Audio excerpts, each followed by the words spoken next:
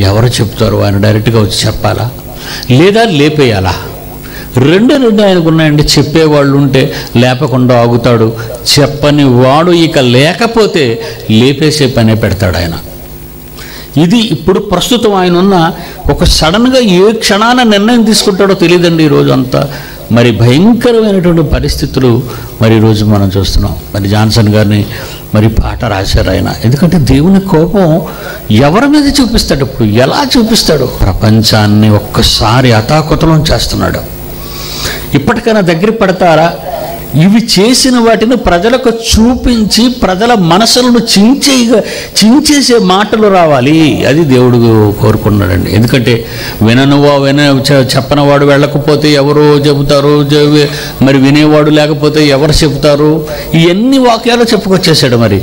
ఇప్పుడు దేవుడు ఏం చేయబోతున్నాడో ఈరోజు జరుగుతున్నవి ఎందుకు అలా జరుగుతున్నాయో అలా జరగడానికి కారణాలేంటో అసలు ఎవరైనా చెప్పగలుగుతున్నారా? అక్కడక్కడ కరువులు భూకంపాలు అన్నాడు.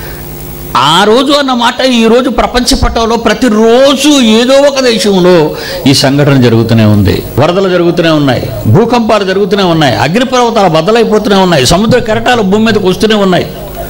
జరగనదంటూ ఏమీ లేదు. జరుగుతున్నాయి ఎన్నో రోగాలు భయంకరమైన తీవ్రమైన వ్యాధులు మందులు లేని వ్యాధులు ఈరోజు ప్రజలను పీడిస్తుంటే ఆ పాట నిజంగా పాట చూస్తుంటే మనకు మతిపోతుందండి.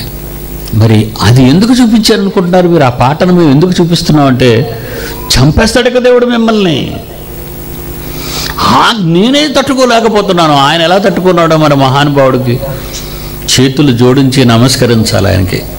ఒక మనిషిగా ఇంత ఆవేదనతో చెప్పినప్పుడు విన్న మాటను అపార్థం చేసుకొని తిరుగుబాటు చేసే జనం డాడీ డాడీ అని దగ్గరికి పిలిచిన వాళ్ళే చివరకు శత్రువులే దేవుని మాటలకు ఏ మాటలైతే రోషంగా ప్రజల మధ్య మనం ప్రకటిస్తున్నామో అదే మాటలను తగ్గించి చిన్నబుచ్చి అవమానపరిచి కాదని చెప్పి జాన్సన్ గారిని అందుకే పాట రాయమన్నానండి. రాయననే పాట.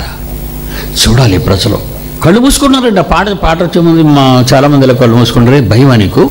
భయపడాలనే కదా చేస్తున్నాడు ఇదంతా. నువ్వు భయపడాలి. నువ్వు దేవుడు కనబడని దేవుడికి భయపడటం లేదు. కనబడిన దైవ సోదరునికి భయపడటం లేదు.